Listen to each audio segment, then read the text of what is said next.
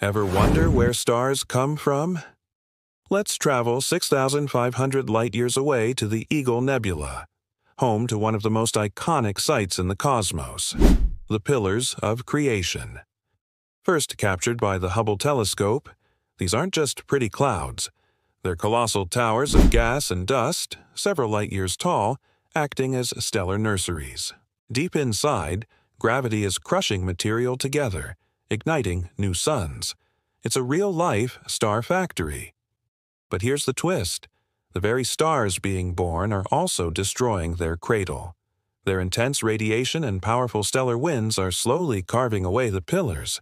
It's a beautiful cosmic cycle of creation and destruction.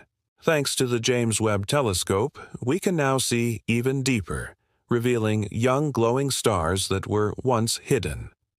What we see today is a snapshot from the past. The pillars might already be gone, but their light is still traveling to us.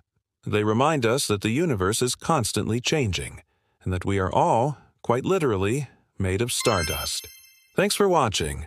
If you love space as much as I do, don't forget to like and subscribe for more cosmic journeys.